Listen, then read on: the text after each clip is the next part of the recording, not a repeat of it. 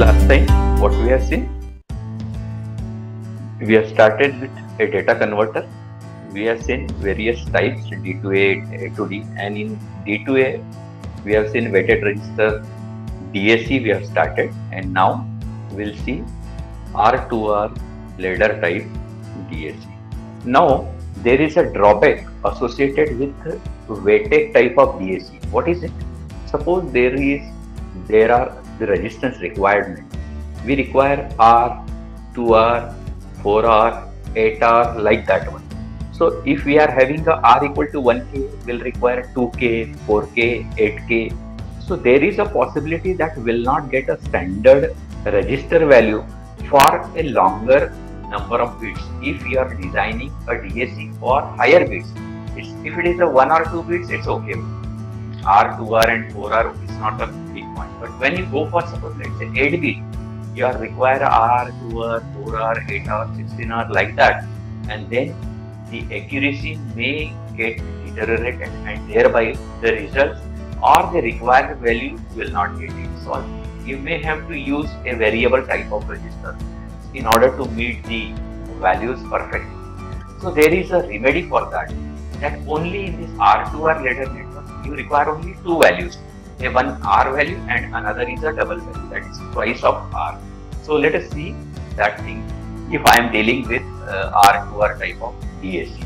So in this case you need to understand if it is a R to R we'll see a ladder network how it is and then we'll see how it can be connected with op-amp to get a certain uh, particular uh, result.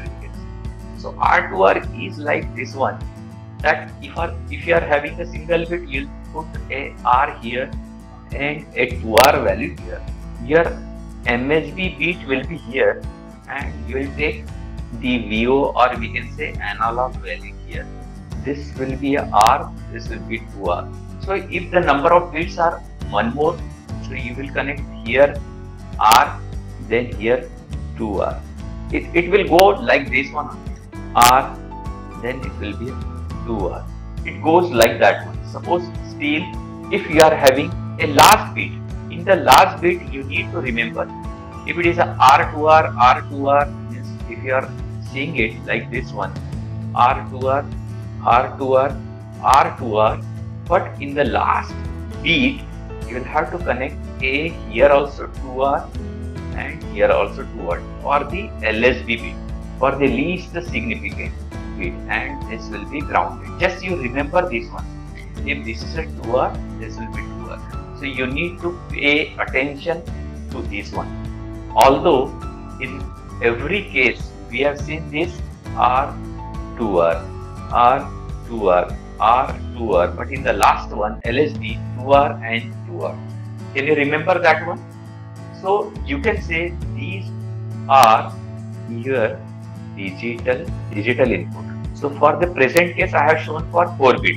You can make it for any n number of bit. It means if it is a D0, D1, D2, this will be D3, where D3 is MSB and D0 is LSB. So whatever digital data you will connect here, accordingly you will get the output value. Okay. So this if we are now connecting to the op-amp how will it be? So let us see that one. So we can see for R2R DAC, we can have various uh, circuit like this. Let me try to give some, just now we have seen the example like this. And when it is connected with op-amp to get a output properly because we need certain amplified output. So ours will be something like this which will connect it to the op-amp. So you have already seen how the operational amplifier is used to amplify the signal. We can get put the value RF equals to 2R. So with this example, we can go further to design the network. Now here it shows this is a LSB, this is MSB. And if it is a 1, there will be voltage. If it is a 0, they will be grounded. Okay? Means accordingly if it is one means you are connecting some VR reference voltage and accordingly the current will flow. And the summing total all current will come out here and will give us a output voltage which will be equals to a gain times you can say minus RF upon whatever is the R1 voltage here equivalently into that will be the output voltage. So what will be the gain or what is the voltage at this point that defines the value. Now suppose whatever the one value, yes just now I said if we are connecting here one, this will act as a VR and this as a grounded. This is a grounded. So if it is a VR, it will be connected to like this. So we can say in the same way there will be two switches like this one will be for grounded one will be for VR one will be for grounded and one will be for VR everything will be like this everywhere that remains like this क्या किया हमने कि suppose एक 2r value लिया है जो grounded है फिर से 2r लिया है जो ग्राउंडेड है और अब यहाँ से सॉरी ग्राउंडेड ये यहाँ ग्राउंडेड नहीं बोल सकते क्योंकि यहाँ पे हमको वैल्यू कनेक्ट करना है यहाँ पे वैल्यू कनेक्ट करेंगे और यहाँ से शुरू हो जाता है एक आर, एक टू आर, एक आर, एक टू आर, एक आर, एक टू आर, जितने भी करने हैं। इसको हम दे देंगे इन्वर्टिंग टर्मिनल पे, जिसका नॉन इन्वर्टिंग टर्मिनल ग्राउंड है, और यहाँ से फीडबैक रजिस्टर रहेगा, कोई भी आर एफ़ वैल्यू और ये जो बन जाएगा, इसमें ये एम एस बी और ये एल एस बी बस, यहाँ पे जो वैल्यू आपको देना है one zero one zero one zero zero इस टाइप से इसका वैल्यू होगा। और इसके पहले हमने देख चुके थे कि इनकी वैल्यूज़ किस तरह आएगी। आउटपुट वैल्यू बिल्कुल सेम वे वही टेबल रहेगा अगर मैं आपको फिर से दिखाना चाहूँ तो वो टेबल ये वाला रहेगा। तो एल एस बी मिनिमम कितना रहेगा तो हम बोल सकते हैं कि, कि अगर डिजिटल इनपुट है सपोज़ अपन बीट का लेते हैं D two D one D zero ये ले लिए ज़ीरो ज़ीरो ज़ीरो तो इसके एनालॉग वैल्यू जो है output V O that will get as a zero volt for zero zero one first अब कितने हैं? थ्री है। थ्री बिट है मतलब two raise to power three eight levels रहेंगे तो everything reference voltage will be divided by eight और फिर ये वन है कि टू है कि थ्री है कि अप टू सेवन जाएगा। एक वैल्यू तो ज़ीरो हो गई, दूसरा क्या रहेगा? One V R by eight अब वन लिखने की ज़रूरत? नहीं ज़ीरो वन ज़ीरो के लिए क्या रहेगा?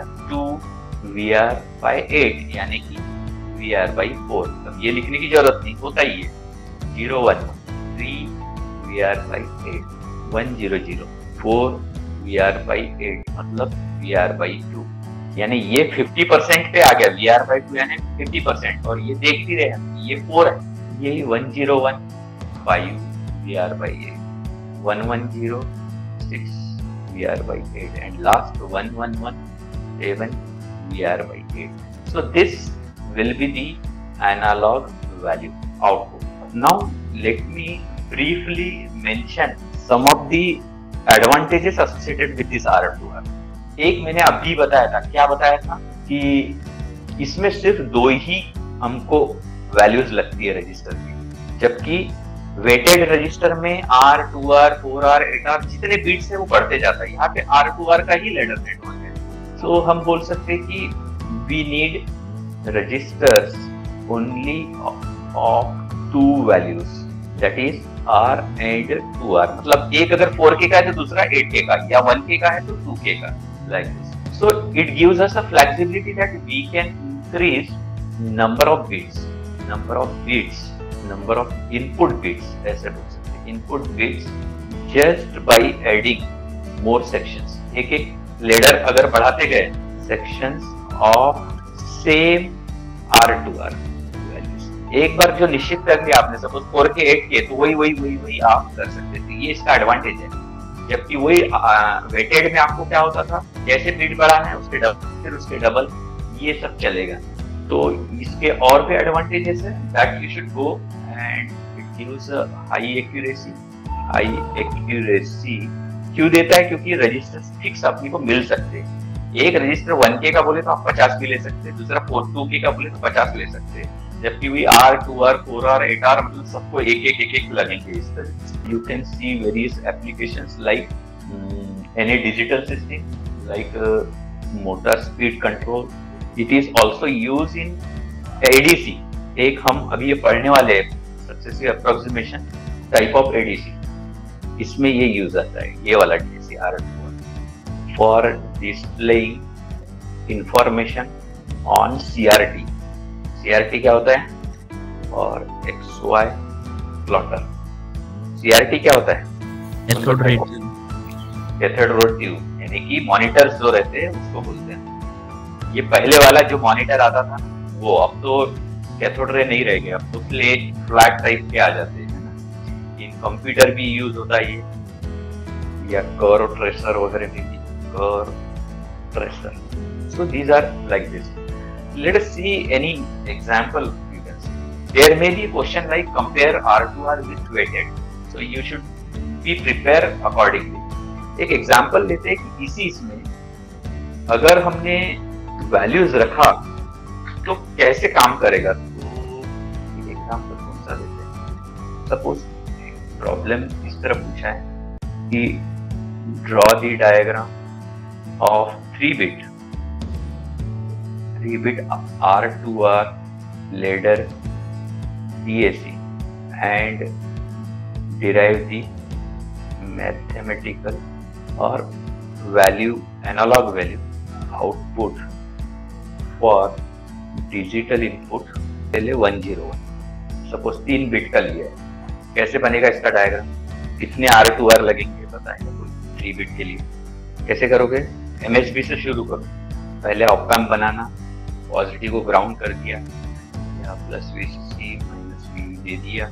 एक फीडबैक रजिस्टर लगा देना आर एफ़ इसको यहाँ से आउटपुट ले रहे इसकी चाहे तो वैल्यू आप टू आर ले सकते हैं। और शुरू हो गया यहाँ से। आर टू आर ठीक है? इस तरीके से शुरू कर दिया। और लास्ट में मैंने बताया था कि यहाँ पे टू आर ही रखना है जिसको कि ग्राउंड करना है। अब यहाँ पे क्या वैल्यू दिया है, उसके हिसाब से हम लोग कनेक्ट करेंगे। तो हमने क्या किया कनेक्ट किया है? हमने दिया इनपुट वन ज़ीरो हाँ वन ज़ीरो ठीक है? We are giving input as one zero one मतलब this is connected to some V R इसको मैं माइनस वी आर बोलता हूँ। इसको वन दिया है। इसको ज़ीरो है तो इसको ग्राउंड कर दिया इसको वन कनेक्ट कर दिया मतलब माइनस इस तरीके से सोचोगे तो आगे बढ़ सकते इस टाइप से आपको धीरे धीरे धीरे धीरे आगे बढ़ना है। और इन सब वैल्यूज़ से आपकी वैल्यूज़ कैसे निकलेगी अगर आप देखेंगे ना तो आपका वैल्यूज़ का वही फार्मूला लगाना है कि V O equals to V R times हमने जैसे किया था, अभी ये कितना थ्री बिट है। तो D two D one D zero यानी हमारा एम एस बी इधर आ जाएगा two raise for minus one plus d1 2 raised power minus plus d0 2 raised power minus इस तरीके से रहेगा तो अभी हमारी वैल्यू कितनी है कि वी आर की वैल्यू सपोज़ हमने ले लिया है यहाँ पे या वी आर वी आर ही रखा है कितना भी जितना भी रहेगा तो D two D one D zero ये है वन ज़ीरो वन यानी पर पर पर इसका मतलब हो जाएगा V R one by two plus zero plus one by two raised power three यानी वन बाय एट तो आप देखेंगे इसकी वैल्यू आ जाएगी पॉइंट फाइव ज़ीरो और ये पॉइंट वन टू फाइव इस तरीके से ये मिल जाएगा पॉइंट सिक्स टू फाइव ये वैल्यू आपको इस तरीके से आपको करना है। अब इसके साथ अटैच कुछ आपके, इसके अपन देखेंगे स्पेसिफिकेशंस कैसे mention specifications of any DAC तो ये टर्म्स आपको मालूम रहने चाहिए what are the specifications of DAC first is a resolution so resolution we come to know either by the two N bit यानी थ्री बीट है four bit है कि कुछ है। या other way to resolution calculate करने का यानी कि उसका वन एलएसबी कितने वोल्टेज का है? मतलब full scale voltage upon two raised पर जितने भी बीट है माइनस वन यानी अगर थ्री बीट है तो V F S divide by two three minus one यानी V F S divide by seven इस तरीके से करना है ठीक है? किसी भी चीज़ के लिए। तो so, यहाँ पे एन क्या है? Number of digital input let us see the another specification यानी कितने रिजोल्यूशन कितना रिजोल्यूशन है? दूसरा रहता है इसकी एक्यूरेसी क्या है? मतलब जब आप मार्केट में खरीदने जाएँगे तो वो पूछेगा कि क्या एक्यूरेसी का चाहिए। तो कितने एक्यूरेसी का है? लाइक दिस तो accuracy percentage of full scale में मेंशन करते हैं कि जैसे मतलब पॉइंट वन परसेंट या point two percent of full scale ठीक है? So this is one more specification how it should be specified it is specified in percentage of full scale percentage of full scale output another term है linearity मतलब how much it is linear linearity जितना linear रहेगा मतलब ये आपका जो graph है ये जितना अच्छा रहेगा कि for digital what is the analog value for this digital what is the analog value ये जितना linear रहेगा उतनी accuracy बढ़ेगी सो लीनियरिटी कितना है that is a important parameter then there is how much it is sensitive to temperature so temperature sensitive क्योंकि क्या है with the temperature the values में change because there is semiconductor component so it में change so how much it is sensitive तो ये भी आपको mention किया रहता है उसमें। So that is also an important parameter next है सेटलिंग टाइम आप कंट्रोल सिस्टम या ऐसे सब्जेक्ट्स में ये टर्म आता है when we do a transient analysis means when some input is given to any system the output will not give us at the very instant when we are applying the input but it may take a certain finite time to come to मतलब हम अगर एक बात करें कि ये inverter है और इसमें मैंने ऐसे आउटपुट दिया है आउटपुट हमको मालूम है कि इस तरीके से आएगा मतलब लो के लिए हाई आएगा और हाई के लिए लो आएगा। लेकिन ये उसी समय में नहीं आता तो थोड़ा सा टाइम लेता है।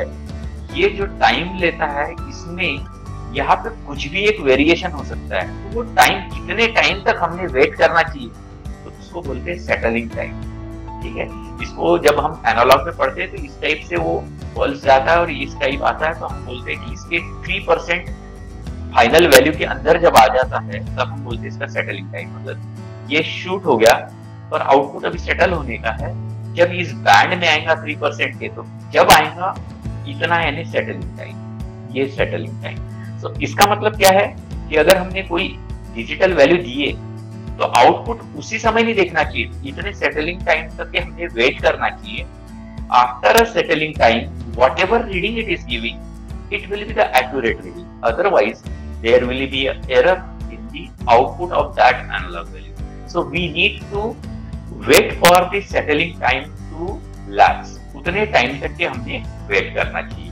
तो ये हमारी थोड़ा सा स्पीड ऑफ़ ऑपरेशन को ये हर्डल है कि जितना सेटलिंग टाइम ज़्यादा, उतना वो स्लो सेटलिंग टाइम अगर बहुत कम है तो उतना वो फास्ट हमको फास्ट रिज़ल्ट देता है। नेक्स्ट है स्पीड ये कितनी स्पीड है इसकी, कितना फास्ट दे सकता है यू कैन अंडरस्टैंड दैट इसमें रिलेटेड कुछ टर्म है कि लॉन्ग टर्म ड्रिफ्ट ड्रिफ्ट यानी चेंज तो कई बार वैल्यूज़ में with the time there is a change ageing जिसको बोलते हैं. कुछ टाइम के साथ जो चेंज आता है, वो कितना होता है long term drift so that is covered in this and then the supply rejection means if there is a variation in supply, there is a fluctuation in supply, how much it is able to reject that changes is known by the supply rejection so, these are the specifications of DSC hope you are able to understand this. Any difficulty just pose me क्या difficulty है? हाँ अब आपको बता रहा हूँ कि आपके कोर्स में मैं जनरली ये आपको फिर से थोड़ा सा आइडिया आने के लिए I C zero eight zero eight इस नाम की डीएसी आईसी है आपको। और ज़ीरो एट ज़ीरो नाइन नाम की आपको है एडीसी तो ये क्या होता है? इसकी थोड़ी सी जानकारी देता हूँ, बाकी थोड़ा सा आपको पढ़ना चाहिए। You'll have to go through it तो थोड़ा सा मैं इसका दिखाता हूँ डायग्राम और कि सबसे पहले पिन डायग्राम दिखा देता हूँ। डीएससी में आप क्या क्या एक्सपेक्ट करते हैं कि कोई तो भी डिजिटल इनपुट्स रहेगा और एनालॉग आउटपुट देगा वो, बराबर है? तो पहले आईसी का पिन नंबर ये है 16 पिन आईसी अगर इसका इंटरनल डायग्राम मिल जाए तो और हाँ ये है। आपको ये स्टडी करना है ना। This will not be given as a final आपको। मैं थोड़ा सा ये ये इसका इंटरनल डायग्राम है। थोड़ा अच्छा डायग्राम आप देख लेना। इस इंटरनल डायग्राम में ये बता रहा है ये करंट स्विचेस है। मतलब ये जो डिजिटल डेटा आ रहा है तो ये आर टू आर का लीडर रहता है ना तो ये सब आर टू आर के लीडर से यहाँ पे आया है वो, ये है वो आर टू आर लीडर ये आपका रेफरेंस करंट एम्पलीफायर हम लोग ऑप एम्प लगाते हैं लास्ट में। यहाँ पे हमने ऑपरेशनल एम्पलीफायर लगाया लास्ट में। ये वाला, वो ये आईसी के अंदर है। और यहाँ पे हम लोग दे रहे वीई सप्लाई यहाँ मिलेगा हमको analog output this is a ground और ये वीसीसी और ये है कॉम्पेंसेशन के लिए है। तो आप यहाँ पे देख रहे हैं, ये नो कनेक्शन ये ग्राउंड ये वी ये है एनालॉग आउटपुट ये M S B A one A two A three A four A five A six A seven इस तरीके से। ये एट ऐसे करते हुए एट डिजिटल एट पिन ये है, ये eight bit DAC eight bit DSC ठीक है? या माइनस भी रेफरेंस और प्लस भी रेफरेंस इसमें रेफरेंस वोल्टेज देते तो सप्लाई के, ये दो है ग्राउंड ये है, ये नो कनेक्शन है, ये कंपेंसेशन के लिए रेफरेंस के लिए है। इस तरीके से आठ पिन तो हमारा डिजिटल डेटा है और यहाँ से हम लोग आउटपुट लेंगे। इसके कनेक्शन कैसे रहते हैं, ये समझने के लिए मैं एक डायग्राम दिखा रहा हूँ, ताकि आपको आइडिया आ जाएगा बहुत सारे डायग्राम मिल जाएँगे, आपको आप कोई भी यूज़ कर सकते हैं, ऐसा कुछ नहीं किया है ये ही यूज़ करे या कुछ। जैसे थोड़ा सा कनेक्शन दिखाने के लिए मैं आपको ये दिखा रहा हूँ। थोड़ा विजिबल है क्या देखना जरा ये उससे अच्छा रहेगा। ये उसका इंटरनल डायग्राम थोड़ा अच्छे से विजिबल है। और ये जो डायग्राम ये आपको वैल्यूज़ दिखाएगा। आपके मन में ये आइडिया तो आ रहा है कि डिजिटल टू एनालॉग कब करना पड़ता है, कहाँ करना पड़ता है? उसको हम कैसे कर सकते हैं? ये अब आर टू आर का अलग अलग नेटवर्क न बना के भी इसी आईसी का इस्तेमाल कर लिए तो हम लोग यूज़ कर सकते हैं। जैसे एक एग्ज़ाम्पल दिखाने के लिए मैं यहाँ दिखा रहा हूँ। ये डायग्राम शायद ज़्यादा क्लियर ये एक एग्ज़ाम्पल दिखा है। यानी जो डिजिटल इनपुट देना है, ये एट बिट यहाँ पे दे दो। और 15 नंबर का हमारा रेफरेंस था। ये रेफरेंस के लिए यहाँ पे रजिस्टर लगा दिया है, ठीक है? 15 और 14 के बीच में। और यहाँ पे हमने सप्लाई दे दिया है और ये ऑपएम से यहाँ पे एनालॉग वैल्यू को मिल रही है, ये ठीक है? इस तरीके से कनेक्शन करते तो ये आप खुद स्टडी कर सकते हैं। इसमें कुछ बहुत बड़ी चीज़ें ओके कर लोगे ना? तो can we go for analog to digital conversion तो हम एडीसी पढ़ते हैं।